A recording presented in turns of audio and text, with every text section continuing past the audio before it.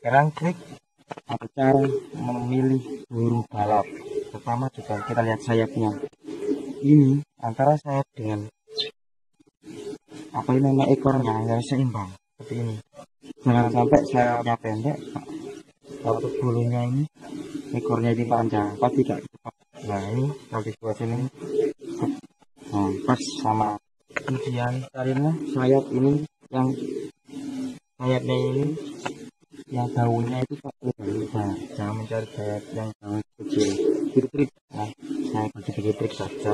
Nah terus kalau kita lihat cara pegangnya ini. Kalau ini ini masih kurang masih jerisek antara ini dengan ini. Badannya ini kosong. Nah saya carilah yang seperti ini lah benar seperti ini badannya itu. Berisi semua lurus ini ya. Dan seperti ini kurang triknya saya kerjakan seperti ini. Ini tak seperti ini ini belum. Karena masalah seperti ini belum sekarang tak kuat ini? Memang